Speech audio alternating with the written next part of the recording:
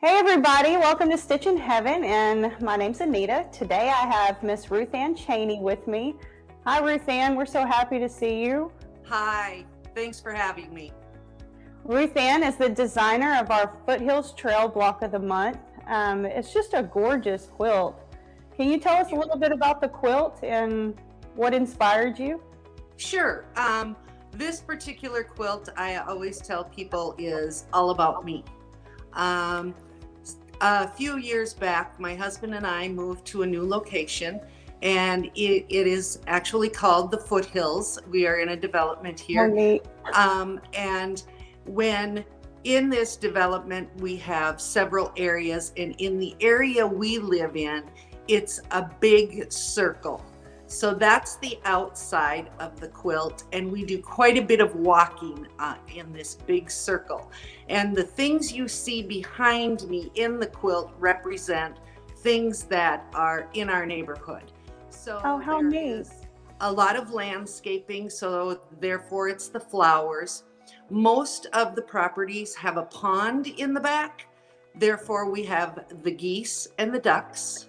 Um, there is also a lot of hardscape as far as we have a lot of people that use, um, you know, the the flowers that spin the different kinds of spinners in their hardscape, and so that's where the let me see right there those particular blocks come in. Yes. And now that we are back in my hometown, I feel very blessed. So the cross comes into play there. And we just feel like our life has radiated so much since we moved here. So that's how the kind of little bit of radiating um, arrows come in. Well, I'll tell you, we were at first very attracted to the color scheme in this quilt. It was very eye catching and, and different than other things that we've seen this year, you know and we were just very excited uh, also because it's not anything you're going to get bored with doing you know? The whole fun of doing a block of the month program is to get to do a little bit different things each month and i think this this pattern definitely gives you that doesn't it? Yes it does. The other thing is um, you know a lot of the blocks um, come like there are two sets of four particular blocks that you make. And then there's a maybe two sets of eight particular blocks, which then allows you to change the position of the block within the quilt right. to make it your own. And also, way on the top up here, what you're seeing, that mm-hmm. allows for you to change those colors up. You know, I liked the gray and the purple kind of separating. So then, um, if you would like to do a little more, you know, random and include the purples and the greens together, you can certainly do that. So I like the idea when I'm designing a quilt to allow for the quilter that even though it's my pattern, they can make it their own. Right. Well, I also wanted to ask you, can you tell us a little bit about quilting on the curve and um, how you got started in the quilting industry?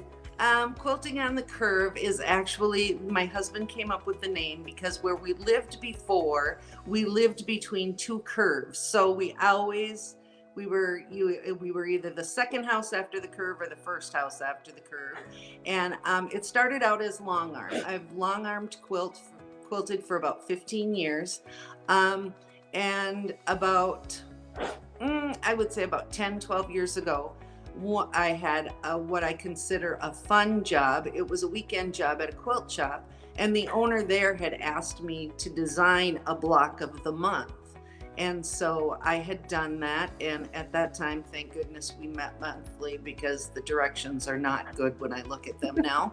um, and then um, a couple years later, I had a quilt hanging on the wall. And my customers, something that I had just sewn. And my customers, when they would pick up their quilts, would say to me, What pattern is that? I need to sew that. What pattern? And I would say, I don't have a pattern. I just put it together. And then actually, my godmother and her friend um, would not leave me alone about writing the pattern for them. they were insistent that they were going to make that quilt. And so mothers can be that way, can't they? Yes, they can. yes, they can. So, yes, um, and that's how I got started. My first pattern was published in 2014, so about seven years ago. Well, how nice. That's cool. It's funny how the places in our life help us inspire some of our projects. Yes, Uh, yes. and now we kind of laugh because we again live on a curve. so it's just inevitable. Yeah, I didn't need to change the name. Well, uh, this program is uh, going to start in August here at Stitchin' Heaven, and I think we have split it up into an 11 month program.